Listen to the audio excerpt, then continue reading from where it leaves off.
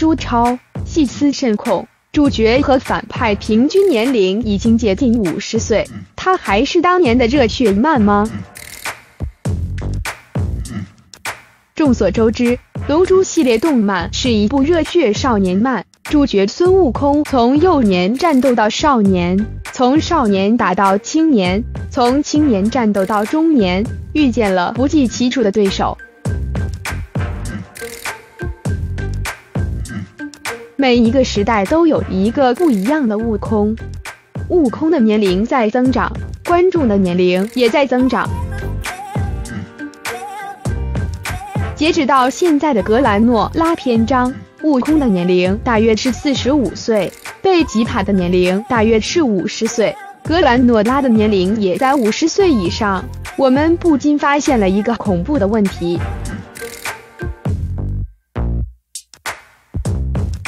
现在的《龙珠超》还是少年漫画吗？还是称之为中老年漫画更恰当些？寻找龙珠篇章，悟空十二岁。龙珠漫画开篇，悟空还是一个十二岁的孩童。一次偶然事件，悟空遇见了布尔玛，二人一起踏上了寻找龙珠的旅程。在旅程中，悟空遇到了很多强劲的敌人。风靡全球的龙珠的故事从这里展开。天下第一武道会篇章，悟空十六岁。爱季七百五十三年，第二十二届天下第一武道会举办，此时的悟空已经十六岁了。此次武道会出现了天津饭和角色等强敌，孙悟空陷入了苦战。龙珠第一部结尾，孙悟空十九岁。爱记七百五十六年，第二十三届天下第一武道会举办。这次武道会出现了一位十分可怕的敌人，那就是短笛魔二代。一番激烈的对决之后，风云变色，会场覆灭。最终，悟空取得了武道会的总冠军。随后，悟空和琪琪结婚了。这个时候的悟空已经十九岁了。赛亚人入侵篇章，悟空二十四岁。爱季七百六十一年，赛亚人拉蒂兹入侵地球，悟空和拉蒂兹同归于尽了。为了应对即将到来的贝吉塔和纳巴，比克开始带着悟饭修行。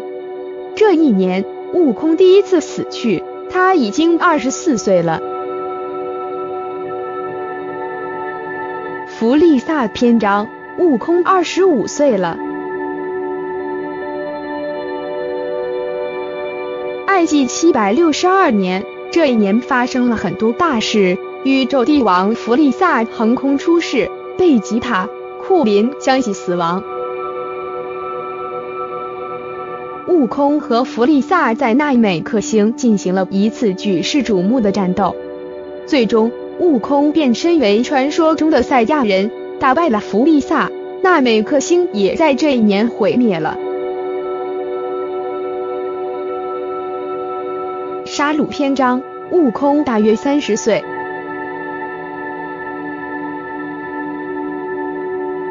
爱记七百六十七年，人造人十六号、十七号、十八号相继苏醒，人造人十九号和二十号的出现，直接让世界岌岌可危了。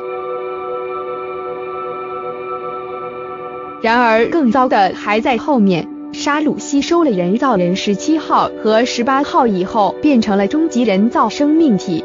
Z 战士们遭遇了前所未有的危机。这一年。悟空大约三十岁。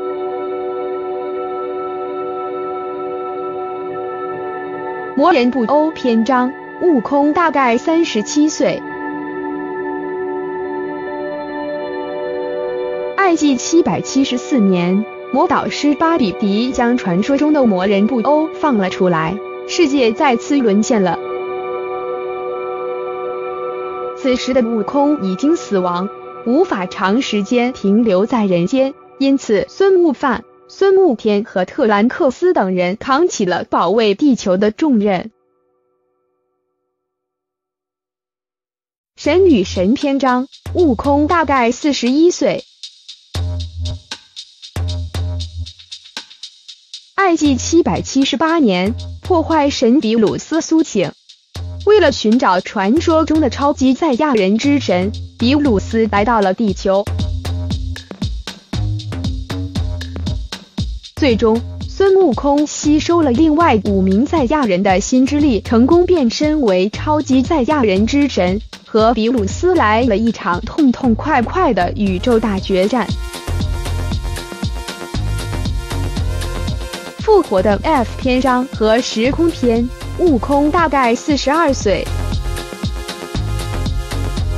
爱纪七百七十九年，宇宙帝王弗利萨被手下复活。重生以后的弗利萨实力不可同日而语了，修炼四个月，直接变身为黄金弗利萨。悟空和贝吉塔也不甘示弱。他们在超级赛亚人之神的基础上，再度变身为超蓝，又一场恶战展开了。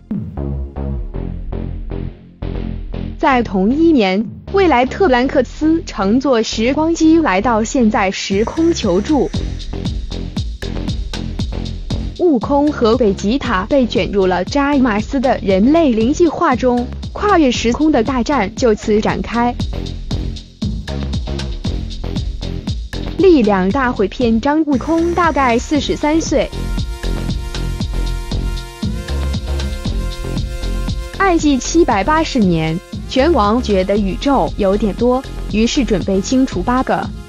在悟空的干涉下，拳王同意举办力量大会，最后获胜的宇宙可以免于被清除。为了争夺这一个仅存的名额。八个宇宙，总共八十名战士上演了一场十分惨烈的大混战。天，悟空大概四十四岁。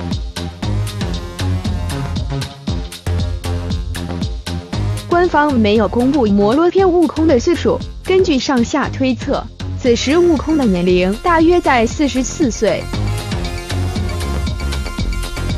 活了亿万年的恶魔从银河监狱逃了出来，为了达成目的，摩罗不断的吞噬星球。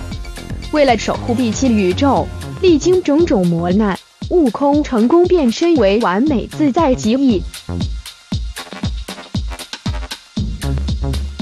格兰诺拉篇，悟空大概四十五岁。到了现在的格兰诺拉篇章，悟空已经四十五岁了。对人类来说，这已经是中老年了。三位平均年龄接近五十岁的大叔还要继续为我们战斗。那么，此时的龙珠超还是少年漫吗？答案是肯定的。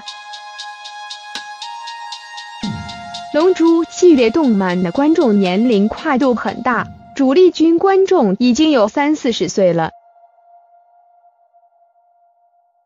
这部分观众基本上都是从自己十几岁的少年时期入坑龙珠的。少年时期的他们观看龙珠的时候热血沸腾，到了中年，这种感觉仍然存在。对这部分观众来说，如果小时候喜欢一样东西，那么到了老年仍然不会厌倦。